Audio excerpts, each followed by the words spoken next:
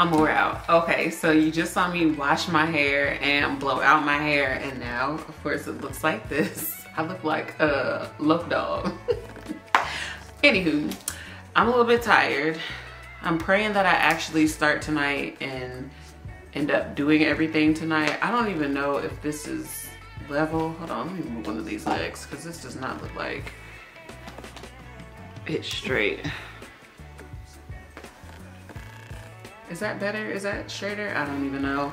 I am pretty tired. Like I said, um, I had a full day and then I decided to just go ahead and wash my hair and get started with this process. And also I don't have a mic in, so my kids and husband are outside and they just so happen to be literally right out the window so you might hear them too um because i don't really feel like going to get a mic i'm already tired and i know that if i do not do this it's not going to happen so i just want to go ahead and start the video with the products that i'm going to be using as far as everything i believe so starting off with something extremely basic but so important is a braiding comb i just saw the difference between these type of braiding combs. I guess I can take it out. This will be my first time using it. Ooh, it does not want to cooperate. Okay, here we go. Ooh, and they just came in, so they might really be real loud. Sorry about that. So this is my first time seeing in person a comb like this. And I was like, I know a lot of people use this and talk about how good it is. So I wanted to give this a try, but also it has the metal, um, what is this called? The metal rat tail. Um, and this is not only good for parting, but when you have like braids for a while, wigs, anything, and you need to get in that scalp, this is one of the best things ever, especially the ones with like multiple prongs on the end.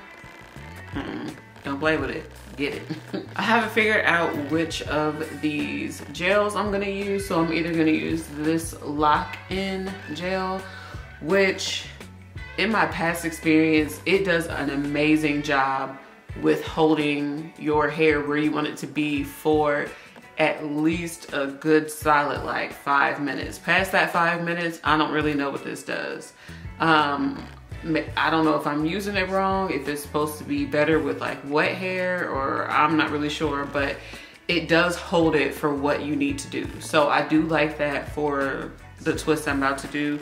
But then I also wanted to try this. I've often used the Shine and Jam, the yellow one with honey.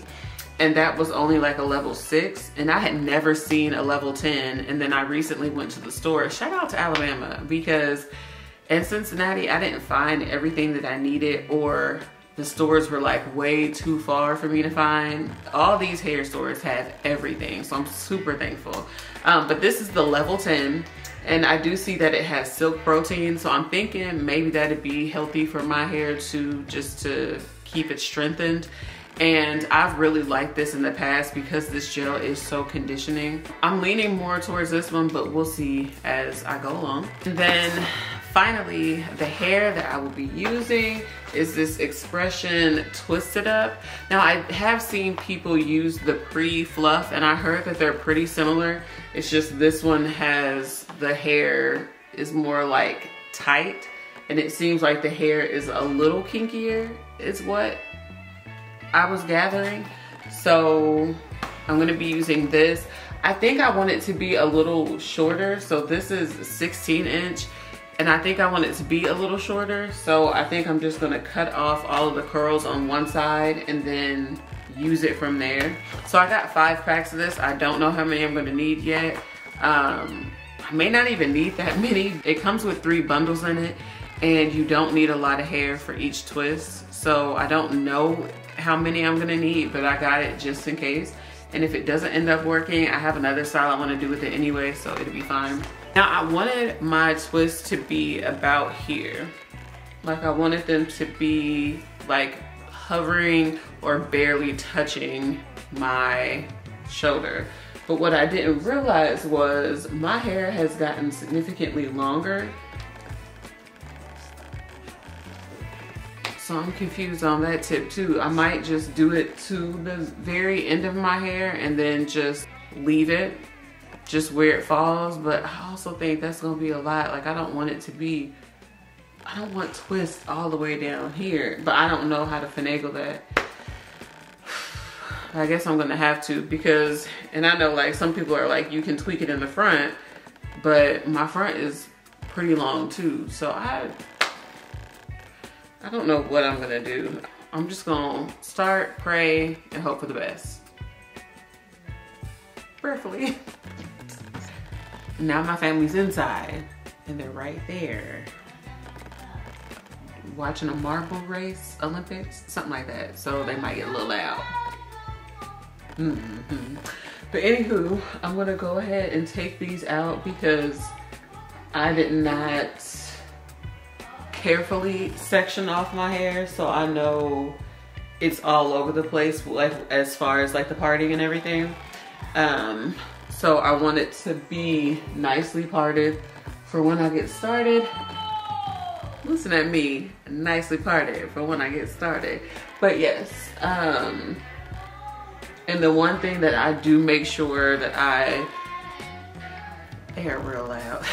the one thing I try to make sure that I do is detangle my hair very, very well so that during this process, there's no hiccups. Like there's, it's nothing. Like I can run my fingers through and we're good because you just don't want to have those type of problems. You don't want to be trying to fight battles while you're doing your hair. It's just, it's unnecessary. So, and I do have some pieces that are, I don't even know why my head is still itching, it does. I have some pieces that are really short. I have no idea what's going on with this hair mine. It has a mind of its own. I know that I really, really need to get trims regularly it's kind of like going to therapy. Like, I mean, I know I need to do it, but that's a bad analogy because you really do need to go to therapy. But I don't know. I haven't found anybody here that I really trust. I used to go to one person in Cincinnati and I didn't even go to him regularly. So I don't even, I, I don't know. But this is what the mane is looking like. And I really haven't seen my hair out like this. I don't blow out my hair, you know, regularly or anything. So anytime it's blown out, sometimes I want to be like, well, I just want to keep it like this. Like throw some wand curls in it or do something fun. But no, this hair needs to go up. It needs to go all the way up. So I'm just gonna put this up like that, out the way. And then I'm gonna start to part in the back. I'm gonna start, I'll just try it on camera and then check it out in the mirror and fix it if I need to. I'm trying to convince myself I have energy and I don't know if I'm doing a good job or a bad job yet. So we're just gonna roll with it.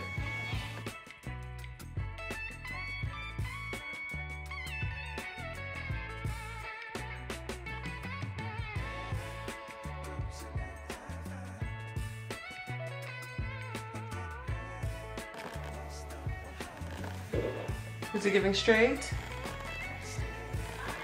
Gonna take a look, be right back. Three things. Why didn't y'all tell me my part was so crooked? Hmm?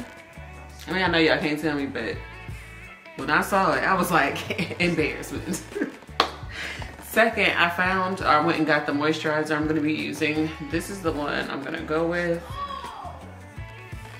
And I really wanna go with this one because it has peppermint and tea tree oil in it and it's going to be refreshing I feel like on the scalp because sometimes when you're doing these styles not not this one but some styles can have a lot of tension. Now I'm doing this one on purpose because it does not have a lot of tension but your scalp can still get a little irritated just from everything that's happening with it. So I opted for this one and it's extremely moisturizing. And next, I also switched from this comb. This comb, I don't know what it was doing, but when I got to the bathroom, I tried this and it worked perfectly. This is by Kiss. This part is used for detangling. This part is, I, I believe you're like, you're supposed to just like comb through stuff. And then obviously this part is for parting. I absolutely love this tool. Absolutely love it. And it worked fantastically for my parting because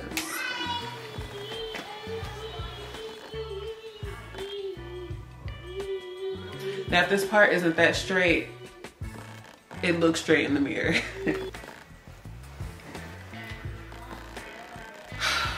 It is now 8.04 and I have not even begun to do anything yet, but I did make my poke bowls along the way. Because I haven't really eaten today. That's probably also why I don't have a lot of energy. So good. Glory be.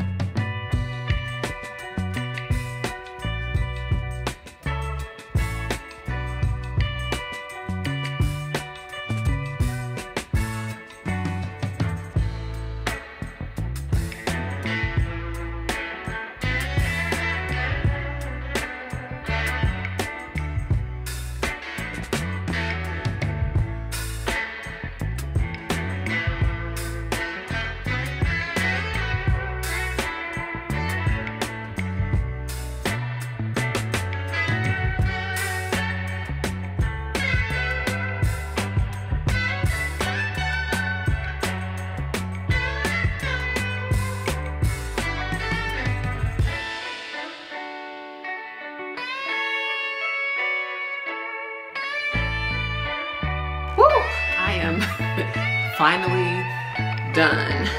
So this is what my twists look like. I'm super excited at how they turned out. Even though I did want them shorter, I think that it came out a really, really good length. I do like this length. So this is the length that it came out to. And of course, as you can tell by my clothing and my face, this is a completely different day. So last night I stayed up and probably did, I don't even know, maybe like six hours worth of twists and I still had a lot to go. I still had like this full top part here. Um, but my husband came in and he was tired and I only had on like a light over here. So I didn't want to record because it was going to be hard to see. Um, so I hope that you were able to see the technique that I did using the um, twist up here because that's what I did all the way around. I really, really, really love this. Now, I can't, last time I did them, I did them more so, and I'm gonna show you the difference. Is this one? Yes. So this twist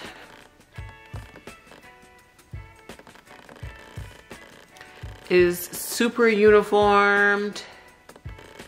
Is this the one? I believe so. There's another one that's like real good. Ooh, this one. Here it goes. Yeah. Okay. So this one, this one you can see it's extremely uniformed. It's really tight. It's really, I don't know, twisty.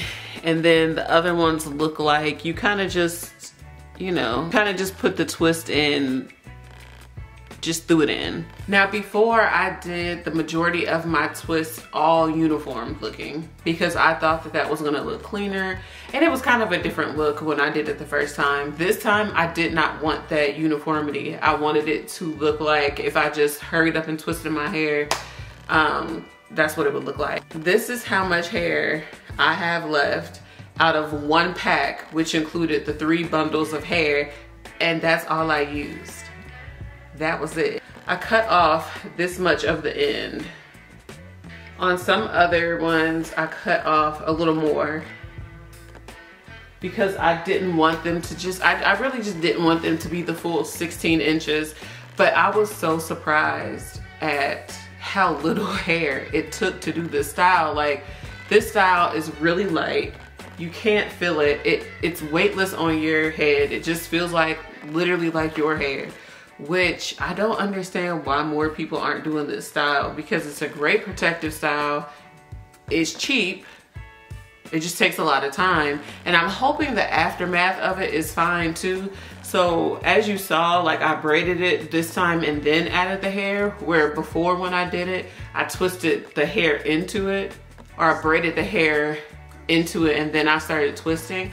I don't remember if it did anything crazy to my hair, but I'll definitely try to update this time and let you know if it truly is a protective style or if it's just cute. I saw this girl do um, what I would consider like a lock style and she like had her piece on the end but twisted it up so it was like shorter and I want to do that because I have somewhere to go. So this literally came together at the last minute. I have 45 minutes before I need to head out. So, and I still need to find something to wear, Lord. I think I'm just throwing a t-shirt. But, um,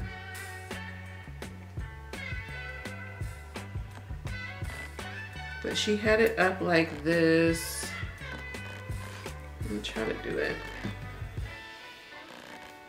It was like up like this and then she put on, I don't have another rubber band. I have this big old scrunchie, I don't know if this scrunchie is gonna do the look that I want it to. Maybe, I don't know. But she had it up like this, how like the girls with locks wear their hair. And I just thought it was the cutest thing ever. So I wanna do, I just wanna do a whole lot of different styles with this. I think that it's going to just transform how I'm feeling about my natural hair because even though my natural hair is long, I, I need a trim and I am not that far removed from postpartum shedding. So my postpartum shedding has been completely finished for about four months now. But if you know about postpartum shedding, that's just when the shedding stops, but your hair is still short in so many places. So I was kind of worried about my edges, but I feel like they're camouflaged pretty well. I feel like they look fine. And there were a few spots throughout my head that I didn't know hair came out of. So I was finding spaces where in one part of the hair, you know, my hair would be like the regular length and then like next to it, it would be like this long. And I'm like, what is that?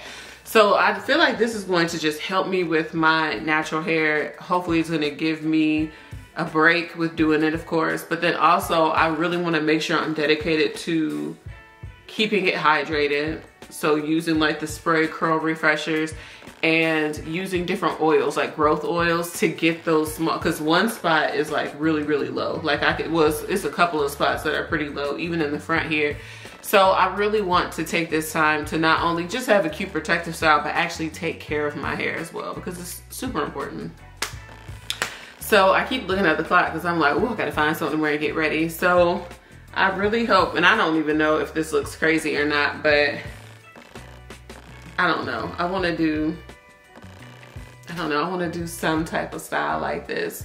Um, but yes, so this has been my mini twist tutorial. I hope that you guys truly enjoyed it. If you have any other questions or concerns, well not concerns, but if you have any questions or just any comments, go ahead and leave them down in the comment section and I'll see you in my next video. Bye. Okay, so I was doing my intro and I realized I didn't mention I did not do a great job this time of parting, but I actually like the inconsistent parting. So I had my front layer parted off before in like one long flat twist.